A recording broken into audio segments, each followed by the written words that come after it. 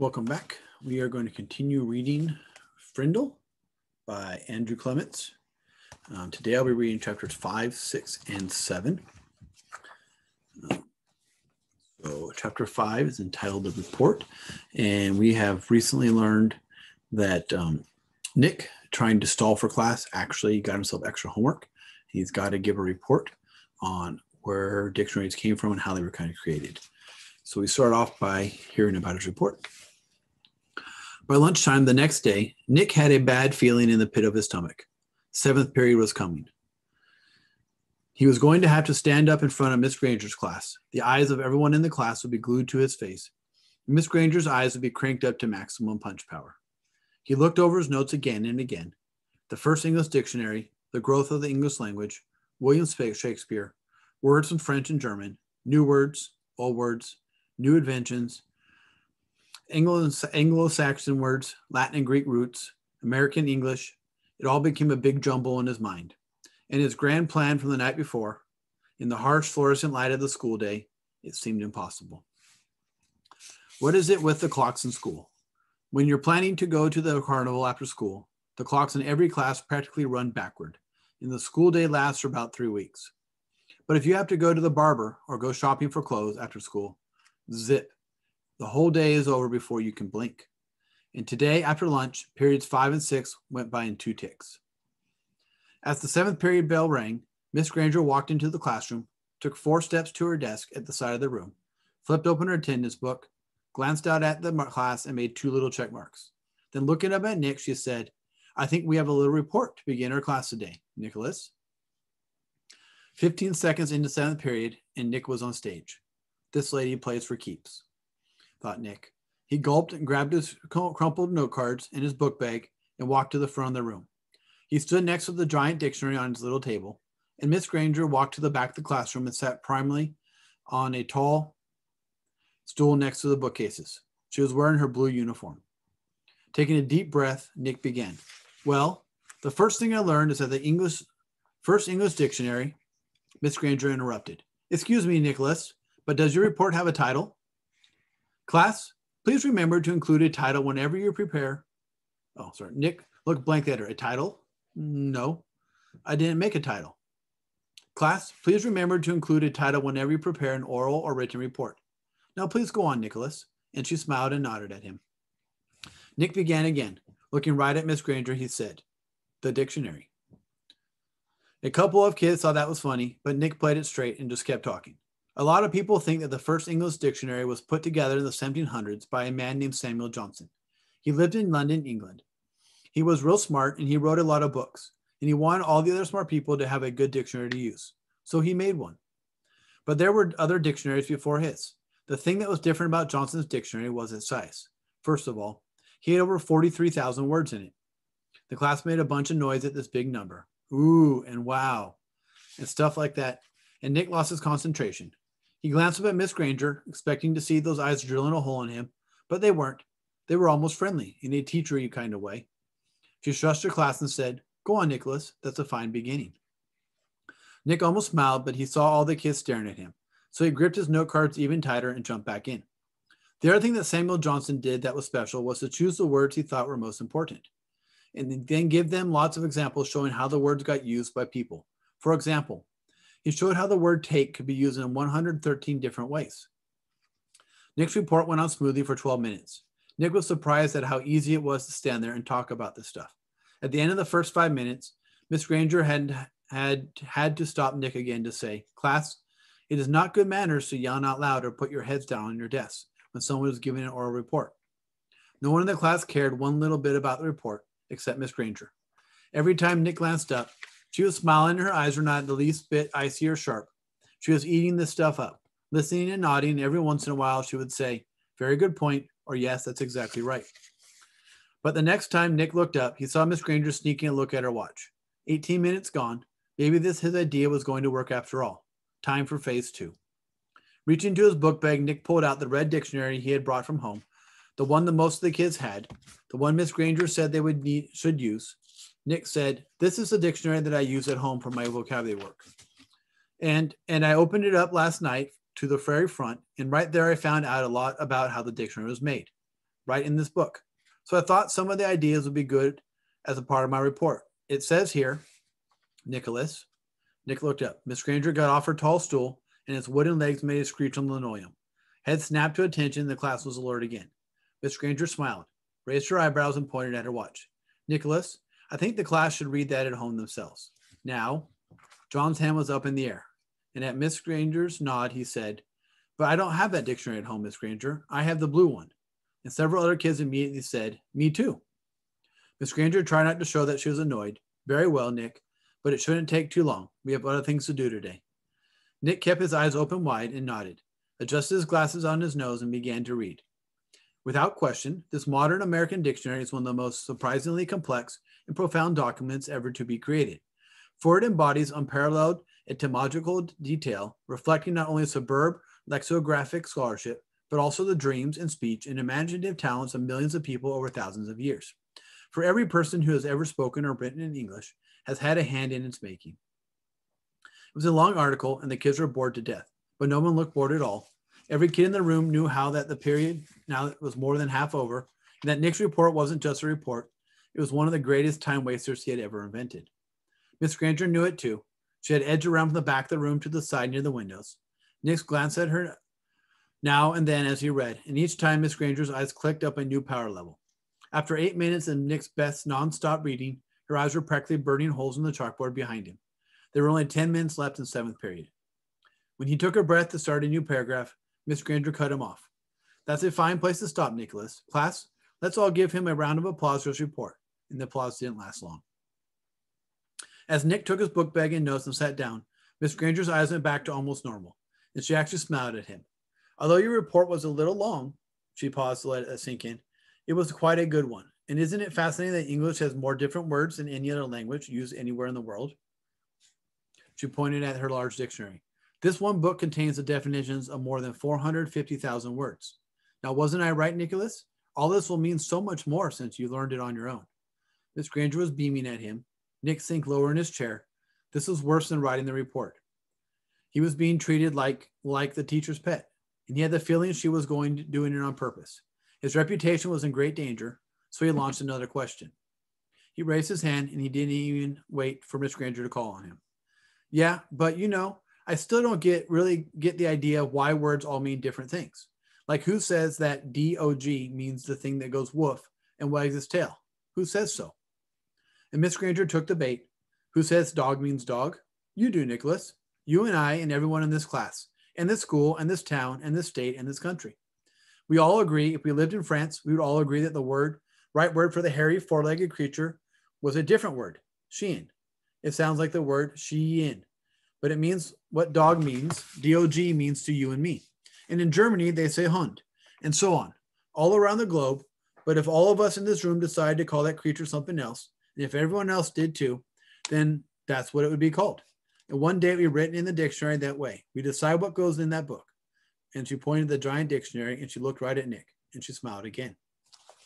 So there's a picture of a bunch of dogs and it's hard to tell, but there's actually different words under each one of the different languages that they refer to.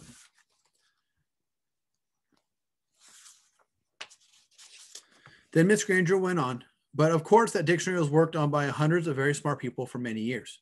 So as far as we're concerned, that dictionary is the law. Laws can change, of course, but only if they need to. There may be new words that may be made, but the ones in that book have been put there for good reasons. Miss Granger took a look at the clock, eight minutes left. Now then, for today, you were, were to have done the extras beginning on page 12 in your Words Alive book. Please get out your papers. Sarah, will you read the first sentence, identify the mistake, and then tell us how you corrected it? Miss Granger jammed the whole day's work into the last eight minutes. A blur of verbs and nouns and prepositions, and yes, there was another homework assignment. And Nick didn't, didn't try to sidetrack Miss G again. He had slowed her down a little, but had he stopped her? No way. She was unstoppable, at least for today. Chapter six, the big idea. Three things happened later that same afternoon. Nick and Janet Fisk had missed the bus because of the school newspaper meeting, so they walked home together. They were seeing who could walk along the curb without falling. It took a lot of concentration, and when Janet stepped off into the street, Nick said, That's three points for me. But Janet said, I didn't fall. I saw something. Look. She bent down and picked up a gold ballpoint pen, the fancy kind. That was the first thing, Janet finding the pen. They got back on the curb, and Nick followed Janet, putting one foot carefully in front of the other on the narrow concrete curb. And while he stepped along, he thought back on over the school day, especially about his report and what Miss Granger had said about words at the end of the period finally sank in. That was the second thing, understanding what Miss Granger had said.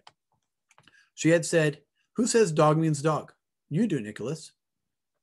You do, Nicholas, he repeated to himself. I do, Nick thought. So putting one foot in front of the other, following Janet. What does that mean? And then Nick remembered something. When he was about two years old, his mom had bought him one of those unbreakable cassette players and a bunch of sing along tapes. He had loved them and he played them over and over and over and over. He would carry the tape and the player to his mother or his big brother or his father and bang them together and say, Guagala, Guagala, Guagala, until someone put the cassette in the machine and turned it on. For and for three years, whenever he said Guagala, his family knew what he wanted to hear, that he wanted to hear those pretty sounds made with voices and instruments. Then when Nick went to preschool, he learned that if he wanted his teacher and the other kids to understand him, he had to use the word music. But guagala meant that nice sound to Nick because Nick said so. Who says guagala means music? You do, Nicholas. No fair, yelled Janet. They were at the corner of their own street, and Nick had bumped into her. Completely absorbed in his thoughts, Janet stumbled off the curb, and the gold pen in her hand clattered onto the street. Sorry, I didn't mean to, honest, said Nick. I just wasn't watching. Here, Nick stooped over and picked up the pen and held it out to her. Here's your. That's when the third thing happened. Nick didn't say pen. Instead, he said, Here's your frindle. Frindle. Janet took her pen and looked at him like he was nuts. She wrinkled her nose and said, What's a frindle? Nick grinned and said, You'll find out. See you later. It was there at the corner of Spring Street and South Grand Avenue, one block from home on a September afternoon. That's when Nick got the big idea. There's Nick um, handing Janet back her pen. And by the time he had run down the street and up the steps and through the door and upstairs to his room, it just wasn't a big idea. It was a plan, a whole plan, just begging for Nick to put it into action, and action was Nick's middle name. The next day after school, the plan began. Nick walked into the penny pantry store and asked the lady behind the counter for a frindle. She squinted at him. A what? A frindle, please, a black one. And Nick smiled at her. She leaned over closer and aimed one ear at him. You want what? A frindle. And this time Nick pointed at the ballpoint pens behind her on the shelf. A black one, please. The lady handed Nick the pen. She handed her, he handed her the 49 cents, said thank you, and left the store. Six days later, Janet stood at the counter of the penny pantry. Same store, same lady. John had come in the day before, and Pete the day before that, and Chris the day before that, and Dave the day before that. Janet was the fifth kid that Nick had sent there to ask the that woman for a frindle. And when she asked, the lady reached right for the pens and said, blue or black. Nick was standing in there one aisle away at the candy racks and he was grinning. Frindle was a real word. It meant pen. Who says frindle means pen? You do, Nicholas. Half an hour later, a group of serious fifth graders had a meeting in Nick's playroom. It was John, Pete, Dave, Chris, and Janet. And add Nick, and that's six kids, six secret agents. They held up their right hands and read the oath Nick had written out. From this day on and forever, I will never use the word pen again. Instead, I will use the word frindle, and I will do everything possible so others will too. And all six of them signed the oath with Nick's frindle. The plan would work, thanks Miss Granger. Chapter 7 is entitled Word Wars. School was a perfect place to launch the new word. And since this was a major historical event, Nick wanted it to begin exactly the right class, seven period language arts. Nick raised his hand first thing after the bell rang and said, Miss Granger, I forgot my frindle. Sitting three rows away, John blurted out, I have an extra one you can borrow, Nick. Then John made a big show of looking for something in his backpack. I think I have an extra frindle, I mean. I told my mom to get me three or four. I'm sure I had an extra frindle in here yesterday, but I must have taken it. Wait. Oh, yeah, here it is. And then John made a big show of throwing it over to Nick, and Nick missed it on purpose. Then he made a big show of finding it, Mr. Granger and every kid in the class got the message loud and clear. The black plastic thing that Nick borrowed from John had a funny name, a different name, the new name, Frindle. There was a lot of giggling, but Miss Granger turned up the power in her eyes and swept the room into silence. And the rest of the class went by according to plan, her plan. As everyone was leaving after class, Miss Granger said, Nicholas, I'd like to have a word with a word with you. And she and she emphasized the word word.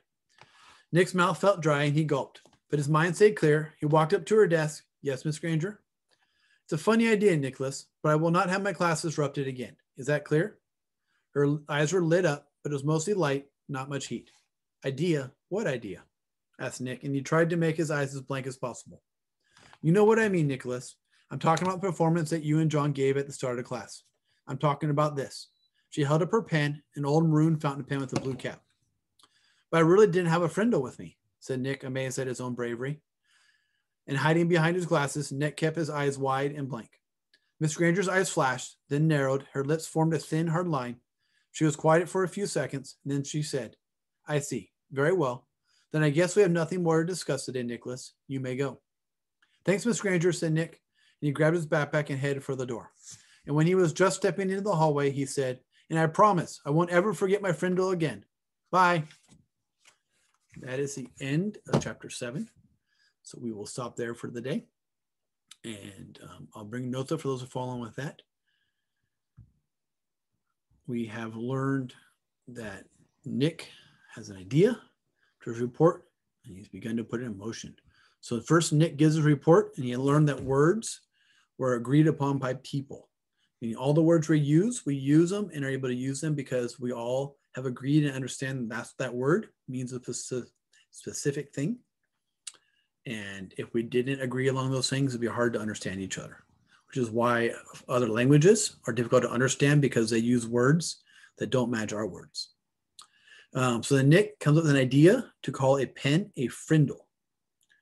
And Nick and his friends begin to use the word frindle in English class. So first they try it out at the store, and they use it in Miss Granger's class.